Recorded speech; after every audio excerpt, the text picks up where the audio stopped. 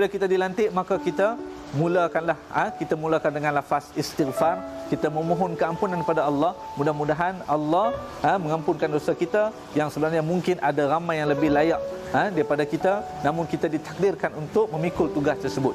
Tapi apabila kita tidak dilantik maka lafazlah dengan lafaz alhamdulillah. Kerana apa? Kerana Allah telah melantik orang yang lebih layak berbanding dengan kita. Bersyukurlah tuan-tuan. Tapi mungkin yang berlaku hari ini adalah berbeza.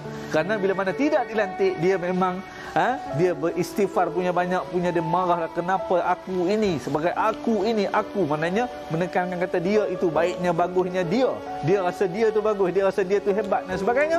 Namun Allah tidak memberi ha, kebenaran ataupun tidak mengizinkan untuk dia mengikut tanggungjawab tersebut. Hakikatnya orang yang yang mana mendapat jawatan tersebut berbangga pula dengan apa yang dia dapat. Itu juga mungkin akan membinasakannya. Sebab itulah hari ini kalau boleh kita ha, kembali kepada pangkal jalan. Kalau boleh kita tidak meminta jawatan namun kita dilantik atas mana izin Allah yang termaktub atas suratannya kita akan memikul tanggungjawab tersebut dan kita terimalah amanah tersebut menjaga amanah tersebut melaksanakannya seperti yang bertepatan dengan kehendak Islam.